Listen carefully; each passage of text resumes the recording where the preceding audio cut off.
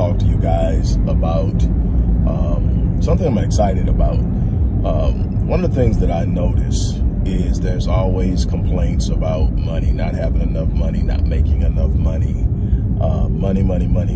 And what I have learned over the course of my life is, first of all, the psychology of money is so underrated. How people think about money has so much to do with how they handle money, how they pursue money, the position in their life that they give money, how they manage money, and everything in between. Um, and I find that people who have poor thinking habits as it concerns money tend to perpetuate those poor thoughts, those poor beliefs, those poor paradigms throughout generations. So if you have poor thinking habits, then you have poor spending habits, then you have poor management habits and you have a, a, a, skewed view of investing in the stock market and, and passive income and, and, and all of those things that are so important in building a wealth portfolio that you only see one thing. Most people only understand money through cash or currency. They don't understand money through all the other forms that it shows itself. Money isn't simply currency. Money is the the value of anything exchanged for something else of value. And you have to understand that money is not the end game. Money is a tool. It is the medium through which values are exchanged. And if you don't understand that, you get caught up in the money chase.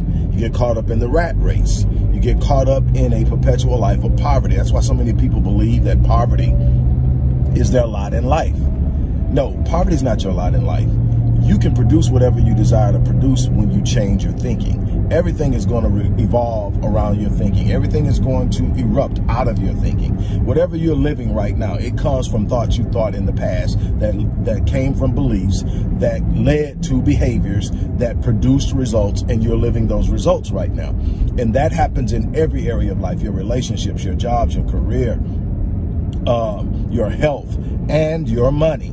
And so the idea that there's only so much out there, the idea of lack is another poor thinking habit that comes from a misunderstanding of money. Well, in doing this, and I shared this with you guys yesterday, that's why I'm so excited. In doing this, one of the things I realize is if we're going to change that, we've got to change it at the origin. And that means that we've got to stop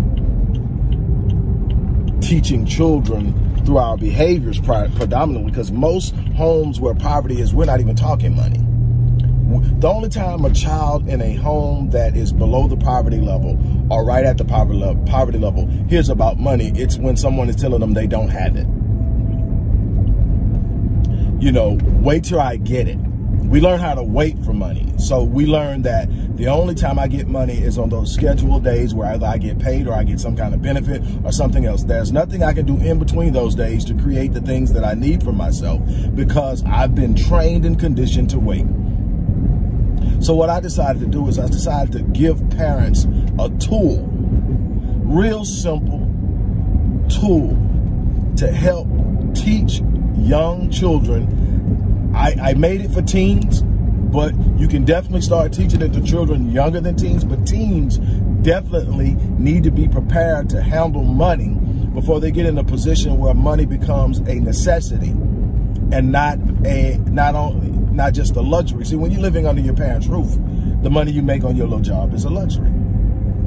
You know, you kind of go spend it, you know, at your discretion. Well, once you become an adult and you, you get to a point to where you're trying to live independently, now money becomes a primary element and component to the lifestyle that you live.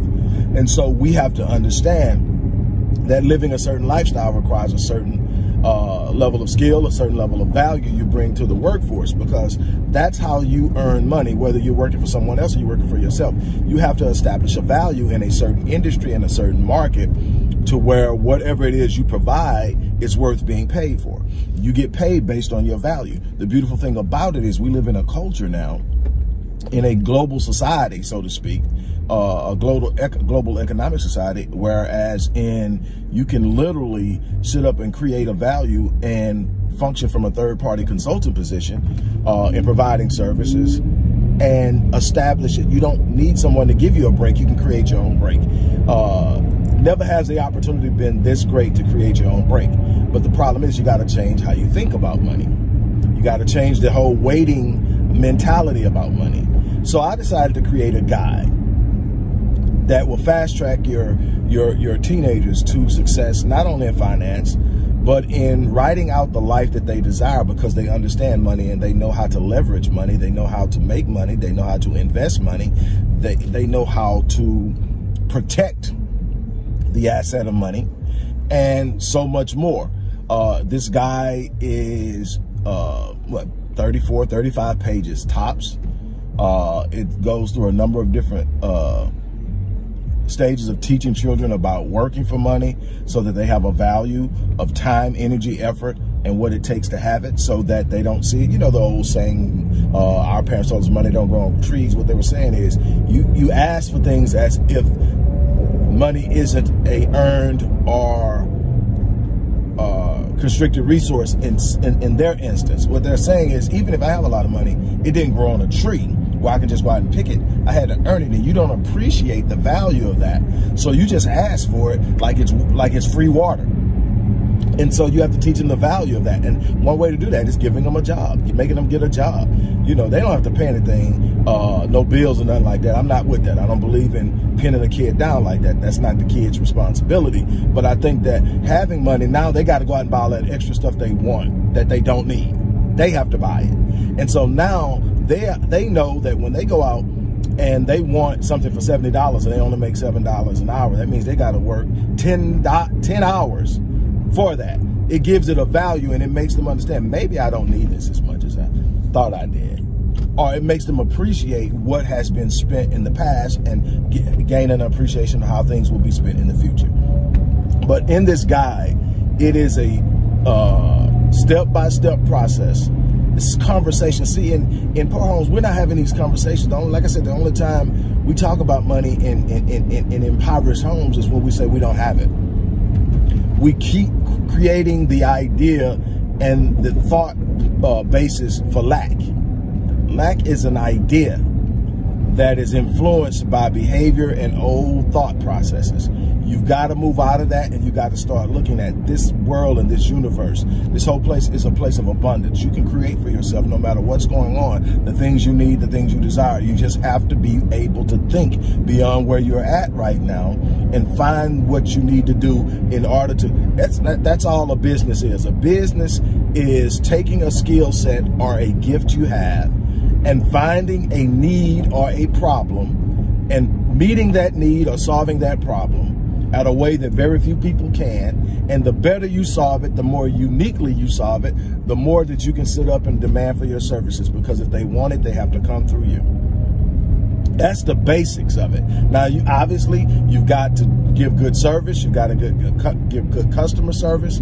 You've got to be have good work ethic. You've got to have good uh, ethics in general. But at the bottom line, it's about seeing the gift in you and uh, determining how you serve other people with that gift. And I don't like getting involved in business ideas that's built on want because wants are normally trendy in our culture. So they want it now, and they probably won't want it later.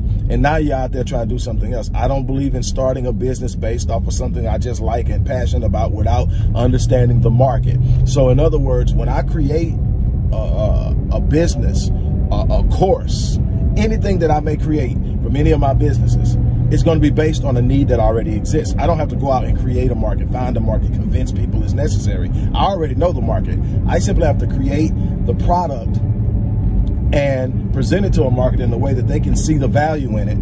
And then I let everything else take care of itself. Well, that's the making of the money on that end of it. But the beauty of money is if you know how to handle money, you start making money make itself. Multiply itself. That's called investing. That's called creating passive income through uh, investments and uh, purchases. Uh, there's uh, deployable assets. There's so many different ways that you can do this. That I talk about in a more advanced course called Seven Steps to Financial Freedom. But this little digital guide is the starting point to prepare kids. I guarantee you, if you haven't invested in understanding money, you'll learn something too. And it's only $10 and deliverable when deliverable within 24 hours, depending on when you order it. Obviously, you order it at 9 o'clock at night. You're not getting it till the next day. But it's deliverable within 24 hours, and you can start teaching it to your kids. You can share it. I don't have a lock on it, so you can share it with family members. But I mean, you know, now it would be nice if you would buy one for each family member, but if you share it, I'm not tripping on that either. But what I do want is I want every household to have it, to share it, to use it as a reference, to use it as a starting point, to use it as a building point. I want those of you who are even at a, at a more serious point in life to sign up for that seven steps to financial freedom. Anybody can get there in the right amount of time. Now, obviously, the longer you wait in your life to start taking control of your finances, the more aggressive you've got to be to meet a point. Because when you're 20, you got 20 years and you 20 years to me is the magic little magic number in 20 years you can do so much with a conservative investment strategy that will put you in a position where you are set for life in 20 years you can do it in 20 years and everybody's and everybody going 20 years oh my 20 years See, that's the problem. We think so much about now that we don't think long term. 20 years, if you start at 18, at 38, you can retire. Now, I'm not a retire minded person. I'm not retiring until I stop breathing. I love what I do and I'm going to do it as long as I possibly can. But that, there's got to be a time in my life where my work isn't necessary in order to sustain my lifestyle. That's called being independently wealthy. And then you get to financial freedom. That means not only is my lifestyle sustained, anything extra I want to do, I can just go do it. That's the levels that you have that you can get to, but you've got to start planning and taking action now. You, the chances of hitting the lottery are astronomically high, uh, low, astronomically low. And then what I, what we know is, and what we find is that when you haven't educated yourself in finance, even when you hit the lottery, the chances of actually squandering it all are astronomically high. Why? Because it's not about whether you can get it or not. It's about whether you know what to do with it and how to keep it. That's the big thing. And when you understand money, you're never at a loss. Your wealth isn't in how many zeros are in your bank account. Your wealth is in the knowledge of how to put zeros in the bank account. Because that number inside the bank account, the number of your bank account is going to fluctuate. There are going to be times it's going to be going up and there'll be times that'll be going down. That's life. Things happen. There may be some times that it's going to hit very close to rock bottom but that shouldn't upset you if you understand money because you understand money. You know that you'll be able to re, uh, reproduce what you've reproduced, what you've produced in the past, and get it back to where it needs to be in time. That's the beauty of it. Understanding money changes the stress equation in life because you're never at a point where you're losing it because things aren't going right financially. Why? Because you understand money. You understand at some point it corrects itself. It just does when you know what you're doing and you're not panicking. So uh, the link, the link for uh, ordering this guide will be in the description box or wherever video, wherever you're watching this video at. I'm going to share it on a number of different platforms um, because I want everybody to have an opportunity for it. And like I said, for $10, you're going to get something that can literally change the lives of your kids. Put your kids in a situation they can do astronomically better, uh, go to astronomical levels and do exceptionally high, more than what you've done, which, which should be your goal. But also, it's going to offer you an opportunity to reevaluate how you're looking at life from a financial perspective and de determine whether you want to make moves and change your situation. And even for those of you who are lower middle class, middle, middle class, and are living comfortably, if you lost your job or your business folded, how long could you survive without being able to produce any income? What mechanisms would you have in place that would still be working for you if you lost your primary source of income? That's the thing. Multiple streams of income that are passive. So, in, in essence, in essence, that's the thing that you've got to be able to look at. Look, I've made it to the office. I got to get in here and get some things done. And then I'm headed to the gym, so I'm about to jump off of here. But I had to talk to you about that. And I'll be talking to you about it for a while. Uh, because I think that it's an opportunity for anybody who wants to do better to do better. There's always this thing about I can't afford, I can't afford. You can't afford not to. And on that note, look, I'm gonna get ready to get out of here. You guys have an unbelievable announcement for those who have followed me for any stretch of time. You know, outside of the businesses that I run, like Myriad Business Solutions, the Visionetics Institute, Odyssey Media Group, I also do a great deal of work inside of the inner city communities uh, in Houston, Dallas, and other areas. Uh, I'm asking now as we push a fundraiser that you support what the Odyssey Project is doing in the inner cities, uh, especially with programs like Black Men Lead, which is a rite of passage uh, initiative, and Restoring Ghetto for, Ghetto's Forgotten Daughters, which is a program focused on helping young girls, but boys as well, suffering from childhood sexual abuse, uh, rape, molestation, domestic abuse, uh, absentee fatherhood, and so many other things. Uh, the information will be in the box. Thank you.